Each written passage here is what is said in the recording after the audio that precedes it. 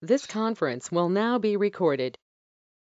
All right. Good morning, everybody, and welcome to another EcoFOCI webinar series. I'm Emily Lamachi. I'm the co-lead of the seminar with Deanna Krauser. This seminar is part of NOAA EcoFOCI's biannual seminar series focused on the ecosystems of the North Pacific Ocean, Bering Sea, and U.S. Arctic to improve our understanding of ecosystem dynamics and application of that understanding to the management of living marine resources. Since 1986, this seminar has provided an opportunity for research scientists and practitioners to meet, present, and provoke conversation on subjects pertaining to physical and fisheries oceanography or regional issues in Alaska's marine ecosystem. You can visit the EcoFOCI webpage for more information. Um, we thank you for joining us today. You can um, please make sure to mute your microphones and that you're not using your video. Um, during the talks, you are welcome to type your questions into the chat. And we will um, come back to those at the end of the talk. And our first speaker today is Phyllis Stabeno. She's a physical oceanographer at the Pacific Marine Environmental Lab. She conducts research into the impacts of climate change on high latitude marine ecosystems. Thank you.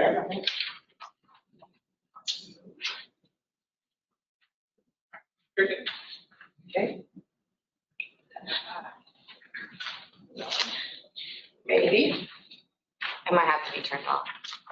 All right. Sorry about that.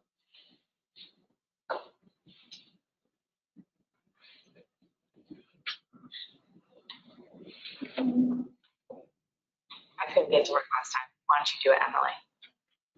It's not working still. All right. Pushed all of them. There you go. There you go. So good morning, everybody. Um, I'd like to talk about the history of the M2 mooring and some of the other long-term moorings in the Bering Sea. Uh, this mo- M2 has been out for almost 30 years, and while it may not be a team of thousands, it certainly was a large number of people over these years that have been able to maintain it. Funding has come from a variety of sources besides our typical ones.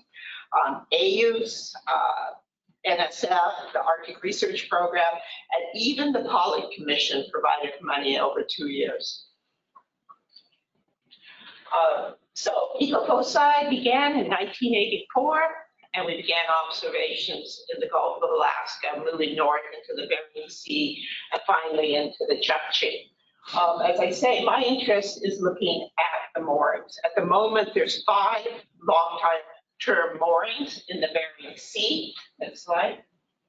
Um, M2 in the south, which was deployed, like I say, for the 29th year. Um, M5, M, sorry, M4, M5, and M8. And we began three years ago, a mooring north of St. Lawrence. So this is the time series. This is temperature time series at M2 and just, um, you know, kind of a short history of it. In 1993, uh, we were inspired by the TOGA TAO array to put long-term moorings in the Bering Sea. Um, the next year, we begged, borrowed, and stole money. We didn't steal, we just begged, borrowed uh, money, and we deployed the first mooring in from the Freeman's Winter Cruise in 1995. That was not one of our great successes. The ice was far, fairly far north. We gambled that the ice wouldn't come down, and within six weeks, the ice had come down and eaten the mooring. Fortunately, we found it later. Um, It's not a picture up at the top, but ice does to mooring surfaces, what you see in the center there. Basically rips everything off the top. Um, But we began, uh, put another mooring out in uh, April, May of that year, and that began, began this time series at M2. So the first year, we didn't deploy in the winter. And we then formed the rhythm of deploying a surface mooring in April, May, um, and a subsurface winter mooring in September, October. Uh, The surface mooring uh, had measurements at about every three meters of temperature and the upper 30 meters or so and five meters below that. And scattered within that was temperature, or sorry, salinity, fluorescence, etc., with an ADCP. So one of our big concerns when we get, began M2, we had looked at how many fishing fleets, uh, boats were around it. And M2 is a very popular place, but it's where we wanted to deploy for ice. And so we named the mooring after Peggy Dyson, who maintained a radio channel up there, talking uh, to all the fishing fleet. And she would say, please don't pull up my mooring. And I think that was very successful for us. Over the years, we had two times um, where a fishing boat uh, yanked up or pulled up part of the mooring. Uh, So those are the next two gaps in the data. Um, And then, of course, COVID. Um, We had COVID on a ship, we couldn't do the cruise, et cetera. And then between that and the sea ice. So this is the time series, temperature from zero to about 70 meters uh, over all the years. The warmest temperatures occurred in 2019. They were almost 16 degrees on the surface. So if we also look to the far north, is M8. It also had an interesting uh, history. Uh, We decided we wanted to deploy in the north. And uh, so we put a test mooring out because we weren't sure how well it would go, and we wanted to measure at 15 meters. We lost that mooring. Uh, The ice agent, some later work uh, that Peggy Sullivan led, showed that ice keels at M8 can be 22 meters. And uh, so in the end, we decided to design the mooring at M8 to go from the bottom to about 20 meters um, and gambled with it. Uh, We've been very successful up there. You take a look at it. Um, The fishing fleet isn't up there and we've successfully done it uh, for the last about 19 years. Uh, Our problem, of course, is last year was Dyson broke down and they did not turn around the mooring. So we'll see what happens with that. But um, you can, just looking at it, you can see the same patterns. You know, M8 shows the nice deepening in the fall um, and the sending of heat to the bottom, and then the cooling as ice comes over. Uh, Next slide. If we look at this, a little bit easier to see the same patterns uh, when you look at the uh, two anomalies. So you see the warm periods that since 2014 at both sides. See the colder uh, things from about 2006 to 2013. And we began in 2005 at M8, and there's indications that that was slightly warmer also. So what we're seeing, you know, when you look at M8, you think, oh, you see warming. Maybe not. And that is, we need to do a bit more work earlier there, see what kind of data we can find, etc. Next slide. So there's a lot of ways of looking at this data. You know, the depth contours are. So the top panel for both M8 and M2 are the depth integrated temperature from each of those mooring sites, and we subtracted off the annual signal. And so you're now looking at it, the anomalies. Once again, at M2, you see the warm period from 2000 uh, to 2005, the cold period from 2006 to 2013, and then the change in 2014. The same pattern uh, since 2005 occurs at M8. So you're seeing the whole shelf change together. It's not, we all, I thought that the south was more separate from the north. Uh, They are connected, the timing, it- and this all depends on as I'll discuss later. But there's a very great similarity of what happens across the shelf. Next slide. So let's take a quick look at M8 and you say, okay, why is temperature important? Uh, One of the importances for Al Hermann's model, um, he uses the uh, moorings all the time to tune, et cetera, his model. But the other is just how things function. The center panel is a percent ice cover in a 25 kilometer box, square kilometer box around the mooring site. The bottom one is top and bottom temperatures. Um, And, you know, this turns out to be pretty important. Next slide. For instance, Pollock had a preference of waters above one degree, zero degrees, somewhere in there, bit, okay? This line here is about at minus 0.5, and this is what you see. 2005 had some uh, above, the part above the line shows the duration of temperatures above the, above the, this is minus 0.5, similar for zero, et cetera. And what you see beginning in 2014 is a marked increase in the duration of that. That goes with what we've seen for walleye pollock distributions. This warmer bottom temperature provide a corridor for them to go north. If you look at the C2 or the Chukchi moorings, um, they also have warmer temperatures on the bottom in the winter. So it's a habitat that they can go into. Um, historically, those temperatures were minus 1.6 for most of the uh, summer.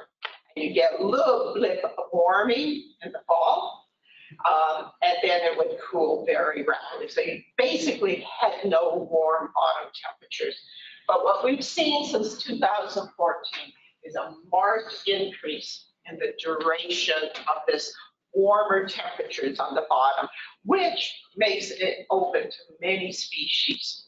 It also causes problems in all likelihood for crab, uh, snow crab, who don't, yeah, who prefer the colder temperatures. And so these are what these long-term measurements tell you. It's how things change and what the patterns are. And yeah, this is just from M8. And yeah, every time I look at M8, I say, oh, I wish I'd begun in 2000 to have a longer time series. But I think that's inevitably everybody's wish for the beginning of these long time series. Next slide. So what causes all of this stuff? It's sea ice.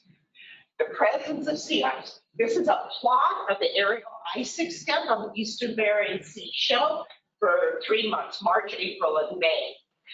And the most extensive sea ice in uh, April occurred in 2012.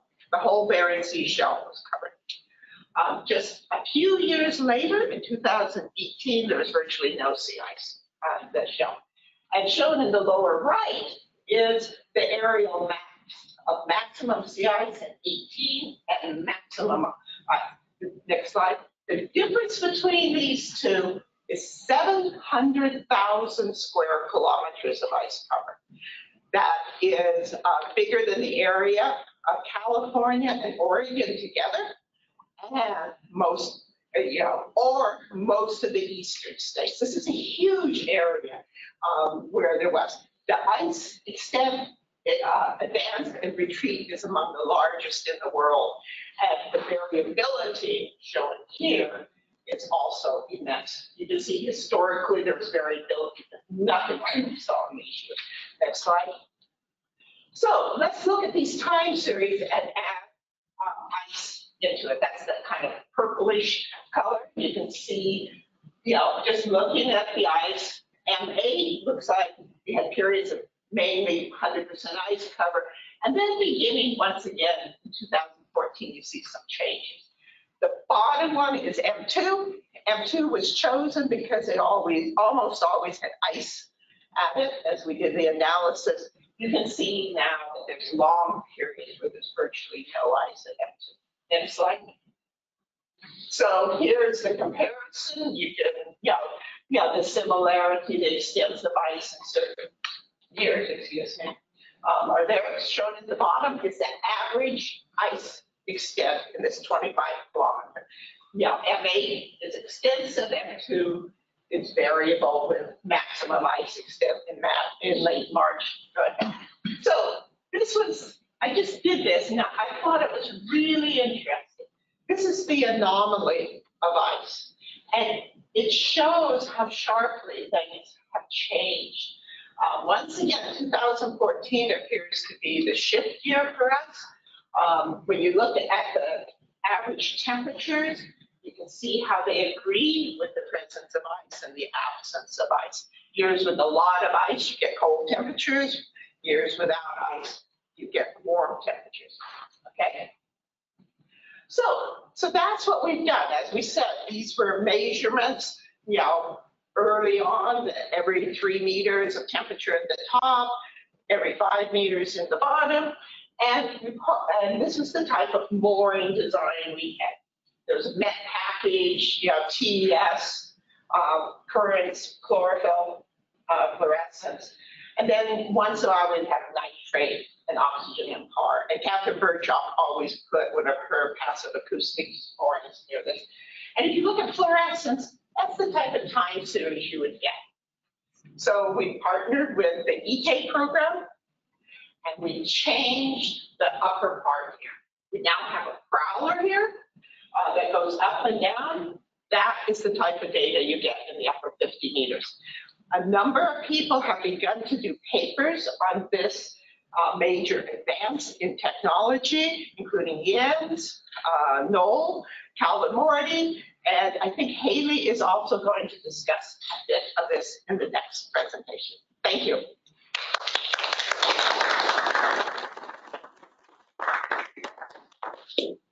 All right, we have some time for questions. I don't see any in the chat yet, so we can start in the room. John? I have a question. Um, in the ice anomaly plot that you showed, it, my eye wants to trace a very periodic wave in that. Is that representative of maybe like, uh, uh, some multi-decadal signal that might be in there, PDO or some other long-term trend, or is it still, am might just making stuff up? Yeah, it's too short. I mean, the, I think one of the reasons I showed M8 and M2, what you see in M2, uh, the indications you see in M2 are different than what you see at M8. And yeah, there are 10 years difference in length, and 30 years provides a greater insight of variability and that type of thing. Certainly in the southern shelf, it appeared there was a five, six-year cycle for a while, but that looks like it's disappeared. I think the next five years, 10 years are going to be fascinating. Is it going to be um, a general warming with this cycle on top of it? Or is it going to get warm enough in the south that you just don't have ice in the south again because of the Gulf? And um, I've seen both predictions, and I think it's what you want to believe at this point um, on how it is. My suspicion is you could have ice in a given year. For instance, this year we had ice at M2, but it was just at M2. You went 10 kilometers further west, and there was no ice. The ice only made it to the 70 meter ice that, um, which is interesting. The patterns of weather said it should have been more extensive. So um, Ray and I are doing some work on trying to understand how warmer temperatures affect the advance of ice. And um, her with the, um, uh, the ROMS model and me with just an analytic thing. And, um, and so we're trying to move forward, have a better understanding of the Southern Sea. Wait, Yes, so just this pattern, that's super interesting. Do you have any comments on why 2017 it kind of started in the sub subsurface and? I will steal something from Jens. And what Jens has seen is this appears to be larger phytoplankton cells. And um, it, I just saw the plots um, earlier this week, or maybe it was Friday. And that's it, because when I first saw that, I thought, oh crap, everything is upside down. Um, But, you know, all the results show this. And so Jens has done some really nice work looking at this, and it looks like they're larger cells. And so that meant they fell down. The question now is, how do they have enough light to exist in the whole, you know, from 30 to 70 meters? And that, I think, is an interesting question. Jens commented, yeah, that the bloom was before the Prawler was deployed that year. Um, You see the spring bloom in the winter pouring at two meters. But that's high production at the bottom is strange. Um, what rate does the Prawler go up and down? It, it climbs up with wave action and it goes up and down very rapidly. We keep one hour data. Okay. I suspect you could have more than one hour data, but it's, uh, so it climbs up and it falls down. And it climbs up and it falls down and it goes up and down as fast, basically, as it can climb and fall. Okay, thank you. Okay? Thank you. Uh, and also at about a meter every eight seconds, profiling on descent.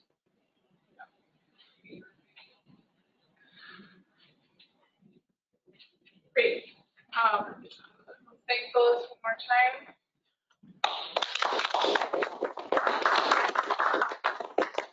And the Speaker is Haley Cynar's, the PhD student at Oregon State University in the College of Earth, Ocean, and Atmospheric Sciences. uh, with a concentration on ocean ecology and biogeochemistry. Her research focuses on measures of ocean productivity using dissolved gases and isotopes as tracers of biological productivity. Uh, Great, thank you, Emily and Deanna. Um, Can you hear me and see my screen all right? Yes. Okay. Um, So today I'll be talking about net community production rates by oxygen nitrogen gas ratios at M2 um, in the southeastern Bering Sea from 2021. And this is work um, that wouldn't be possible without all of these co-authors. So to start off, um, just a brief overview of primary productivity. Um, this is the rate of production of organic matter by phytoplankton. Um, and this phytoplankton production fuels the ecosystem, which is then consumed by zooplankton and fish, crabs, and whales. Um, and generally, primary productivity is an estimate of the food available to the ecosystem as like an upper limit. Um, and in this diagram, we see phytoplankton here um, in the surface uptaking carbon and producing organic carbon. And then some of that um, organic carbon is respired by those phytoplankton themselves. Um, they get grazed upon by zooplankton, and there's also zooplankton respiration that's kind of in this upper box. Um, and then where that organic carbon ends up depends on the ecosystem and everything else that's happening as well. Um, so next, I'm going to go over a few metrics of primary productivity that are used in this observational study um, in the Bering Sea. So first we have gross primary productivity or GPP, which is the total rate of production. For example, if you measured all the organic carbon produced in this equation or all the oxygen produced. Um, there's also net primary productivity, NPP, which is that total production minus the autotrophic respiration by phytoplankton themselves. Um, and this is, um, sorry, and then we have net community productivity, NCP, which is that gross production minus all the respiration, um, both by autotrophs and heterotrophs. Um, and NCP is kind of an estimate of like the ocean metabolism, where it's the balance between photosynthesis and respiration, um, where like, like if you just measured the net oxygen produced, for example. And um, there are a lot of ways to estimate each of these. I'm just going to go over um, the, the basis of the methods that are shown in this talk. Um, so for gross primary productivity, this was estimated um, by diel changes in oxygen in the mixed layer uh, from Jens, and then net primary productivity, NPP. This is what people will be pretty familiar with as um, commonly measured by getting a measure of carbon uptake, either from like C13 or C14. Um, but here, this was estimated using a vertically generalized production model, which um, is based on chlorophyll, sea surface temperature, and PAR. And then net community productivity, NCP. Um, here, we're using the net biological oxygen supersaturation from an oxygen nitrogen ratio. Um, so that's kind of getting at the net oxygen produced here. And we have to account for the physical oxygen changes as well. So getting more into that, I'm just going to go over oxygen saturation. Um, oxygen solubility is primarily a function of temperature. And here in this figure, um, this gray line here is shown as oxygen solubility concentration with temperature. And then all of these points are observations from the surface oceans. Um, so you see that these points generally fall pretty close to that line that would be estimated if um, oxygen was at saturation. Um, but they're not quite there. And the difference from that saturation tells the story. So for example, this point is at around 110% saturation. So it's like 10% super saturated um, if you look at the difference um, in concentration there from that line. So that could be due to physical drivers. For example, if the water warmed rapidly, um, that would decrease the saturation concentration and make it supersaturated before it kind of had time to equilibrate. Um, or from bubble processes, which could also supersaturate oxygen. But it could also be from biology um, through that photosynthesis equation and producing oxygen. So how do we figure out what's biological and what's physical? We can separate the biological oxygen portion of that from physical using an abiotic gas tracer along with oxygen. Um, for example, this is commonly done with oxygen argon ratios because argon is a really good, um, it, it's, it's very similar to oxygen in physical properties. So we can kind of um, take out the physically caused oxygen changes um, with that. Um, but argon is a little trickier to measure. So here we're using oxygen nitrogen ratios and we get those from a gas tension device, which is shown here, that measures the total dissolved gas pressure. And when we use this alongside an oxygen sensor or an optode, we can get that oxygen nitrogen ratio. Now, nitrogen doesn't respond quite so similarly to oxygen in terms of physical forcing. Um, so it's less perfect than argon, but we can kind of adjust for those differences if we know the water mass history. So in this talk, um, I'm actually going to be showing data from oxygen nitrogen prime, which was um, developed by Robert Izett as a way to kind of like convert nitrogen into responding like argon based on what we know happened in the water mass, if it warmed or if there were high winds, that kind of thing. Um, and this is pretty simple to deploy and requires minimal maintenance, which is great um, in terms of getting more data with it. Um, this was tested in a shipboard comparison in 2019 in this same region, and it worked pretty well. Um, so here we're using this oxygen nitrogen ratio to estimate net community productivity rates using a simple model in the surface mixed layer. So where was this deployed? Um, this was deployed at M2, as Phyllis was just talking about, in the Southeast Bering Sea. And this area of the shelf is highly productive. It's a foraging area for seabirds and marine mammals and is also home to commercially important fisheries. And M2 has been shown to be pretty representative of this area of the shelf. So um, this gas tension device, or GTD, was deployed at six meters on M2 in 2021. And the mooring stayed out until February of 2022, um, just before ice cover. So I'm going to be showing a few Prawler profiles um, showing kind of an overview of the water column um, over time from 2021. Um, and, and this Prawler is located pretty much right next to M2. So um, we have depth on this axis and then temperature, where we see that it's pretty well mixed and cold at the start of the season. And then it becomes more stratified and warm um, into spring, becomes very strongly stratified through the summer period um, and, and a lot warmer at the surface. And then here you see the next layer deepening and the water column becoming pretty well mixed by late fall. Uh, okay, next we have chlorophyll. Um, this scale is attenuated, so the actual values in the bloom are much higher than five, but this is kind of to show other patterns as well.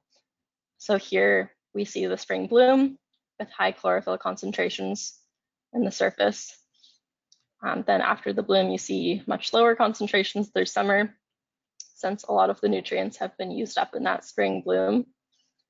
And then at the same time that that mixed layer is deepening, um, and there are some strong wind events, we see evidence of a fall bloom with um, greater chlorophyll concentrations in that period as well. And then oxygen percent saturation is shown in this bottom panel, where we see high oxygen supersaturation in that bloom period in the spring. And then um, or uh, percents that are a lot closer to saturation through the summer. So some of those mixing events um, caused undersaturation from mixing of deep water at that point.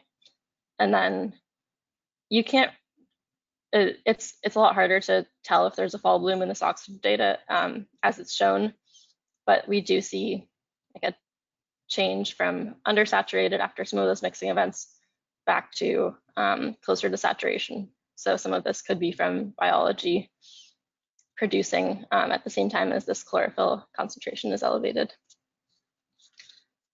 So next I'm going to go into some productivity metrics. And just to start out, here we have um, chlorophyll concentration shown on the right axis in green. These are both five-day moving averages. And then we have net primary productivity shown um, on this axis in millimoles of oxygen per meter cubed day.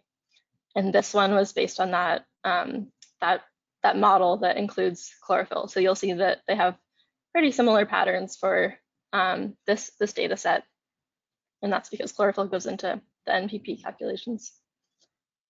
So now we're getting rid of chlorophyll and just sticking with these three productivity estimates where we have GPP in red, which is based on that, um, change in oxygen. And then we have NPP in purple and NCP um, in blue, which is based on that oxygen nitrogen prime ratio. So, um, and, and then these are also five day averages. So um, kind of initial impressions, we expect that gross primary productivity is greater than net, um, which is greater than net community production. Um, that's kind of based on the definitions, and we do see that that holds true for the most part, um, despite these being three different methods that are um, based on different data. Um, let's see, so kind of focusing on the spring bloom to start out with, we see that all these metrics have pretty similar patterns with um, the peak in the bloom. Um, there are a couple of things to note about that. One is this like dip in net community productivity. And this is um, in part because there's a mixed layer depth uh, conversion that goes into this to get it into volume units shown here, which correspond to these two, which don't directly have mixed layer depth in those calculations.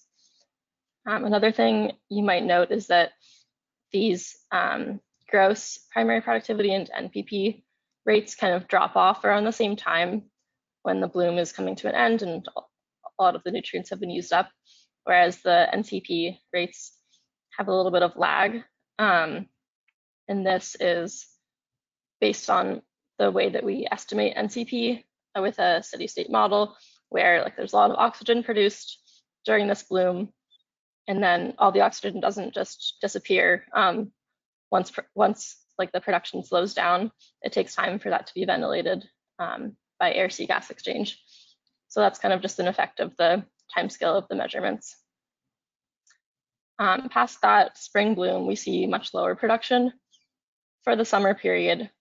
Um, and then with GPP and NPP, we see kind of a small peak around that fall period corresponding to the elevated chlorophyll from the Prawler and um, a fall bloom.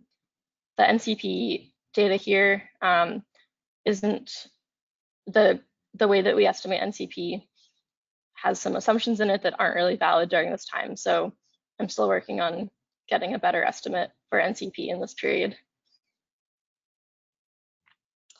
So um, compared to previous years, we're just looking at the spring bloom here. So this table on the top is an excerpt um, from Jens's paper where um, he calculated rates of GPP, NPP, um, as well as NCP um, for a variety of years for each like bloom period. And these rates are in milligrams of carbon per meter cubed day. And then below here, I have the estimates from the study from 2021 for the bloom period um, with the same units, milligrams of carbon per meter cubed day. So, and then I should mention that GPP and NPP are calculated based on the same methods um, from this paper versus the study, whereas NCP is measured differently here, um, where the 2021 data is based on that O2N2 prime from that gas tension device. So general takeaways here, um, we're always going to expect some interannual variability and some of these were really warm years, um, but we see relatively similar values in GPP and NPP as well as NCP um, for these years. They're kind of in line with what we expect. Also shown here are the ratios of net primary productivity to gross and NCP to gross primary productivity, which are also relatively similar to those from that previous study, um, where, for example, like this value of 0.5 for net community production to gross primary productivity um, basically means that half of the production from, from this bloom period is available um, like for consumption or for lateral transport out of the system or export to the seafloor, that kind of thing. And this is pretty consistent with what we expect from a bloom, whereas after the bloom period when nutrients are a lot more limiting, we expect this to be much lower with, with like more recycling in that surface ocean. Um, and then just a quick comparison to another method. So if you sum up um, all of the production based on NCP rates here um, for basically the month of May, or from, from when this was deployed until June 1st, we get um, around three moles of carbon per meter squared that was produced. And if you estimate how much carbon you would expect based on the nitrate um, in the surface, which Noel Pelland calculated um, based on this paper, you get around 3.66 moles of carbon per meter squared.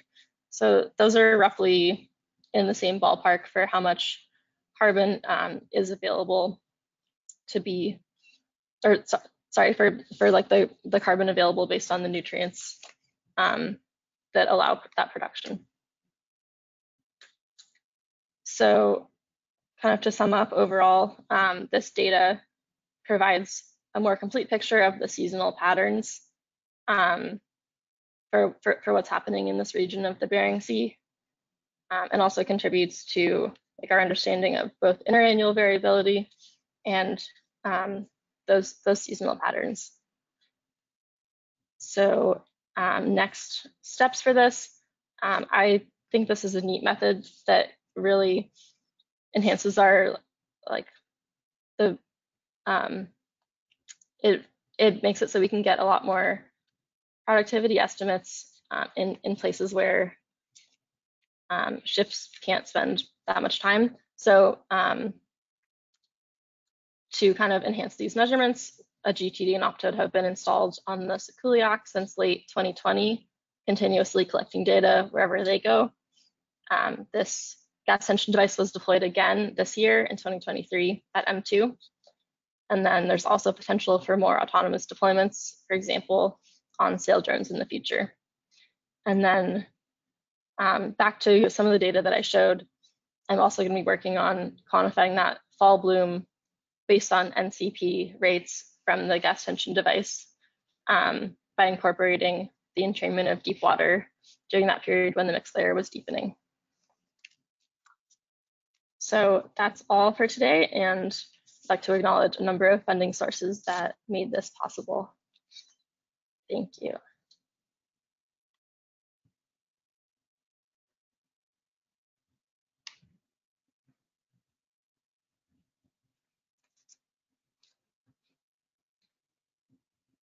Thank you, Haley. Do we have any questions from the room? Al? Um, yeah, this, this is great stuff. Um, realizing you only have a, a few data points for the ratios, do they in general line up with the idea of a bigger ratio of net community production to gross primary production under cold conditions than under warm? Um, that's a good question. So the comparisons that I showed before were just for each bloom period. Um, so time wasn't really considered in that it was just selected based on um, like the two weeks on or, or the, the like week on either, either side of that peak. Um, but yeah, I, would have to look into that more.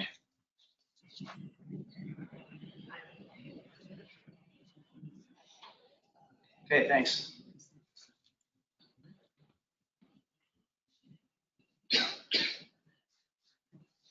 Are there any questions from the chat? Or if someone wants to unmute themselves and ask?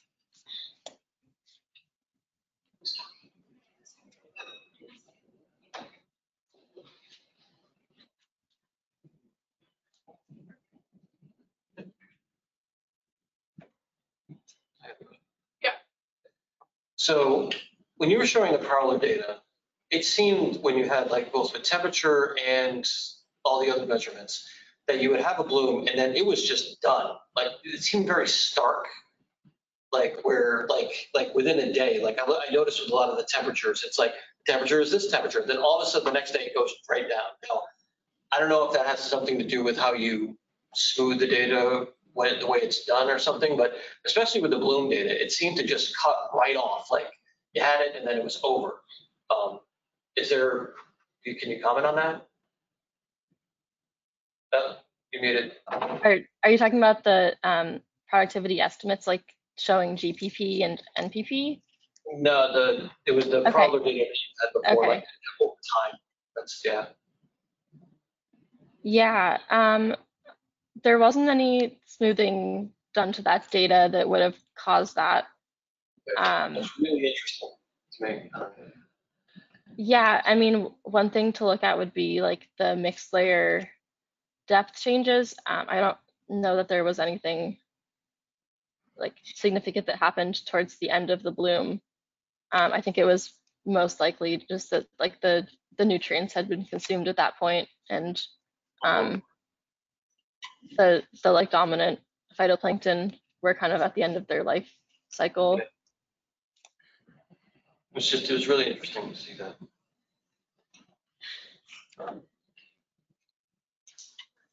Hi, Haley, uh, Evan. Um, So I think that chunk of the Bering Sea is kind of a hotspot for sedimentary denitrification and oxygen demand. Does that do anything in terms of your mass balance or the, uh, the gas tension device? You know, I don't, I don't really know what assumptions go into the gas tension device that might be modified by those sort of extra fluxes.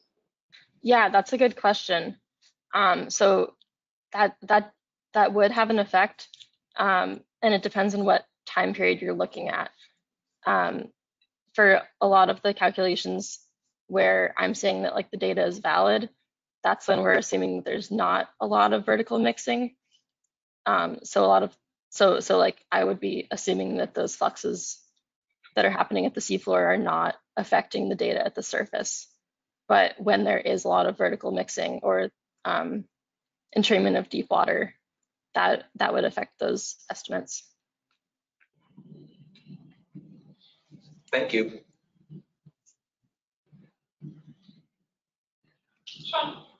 Hey, Haley, so I know that characterization of the oxygen opto is really important in order to, uh, you know, from, from our own discussions. Are there any other particular measurements that you think that you would request to make this data set a little bit more useful for you in the future?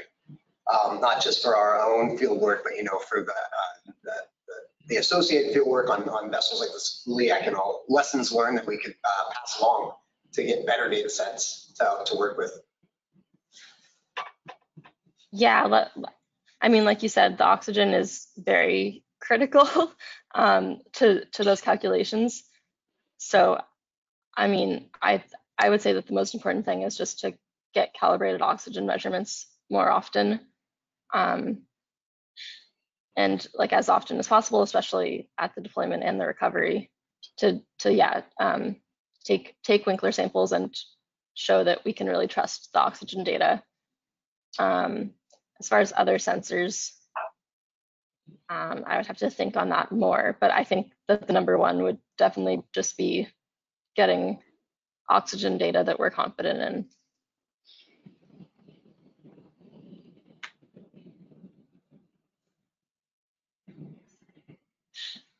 Well, uh, let's give Haley another round of applause because we were muted the first time. She didn't hear how loud we were. So,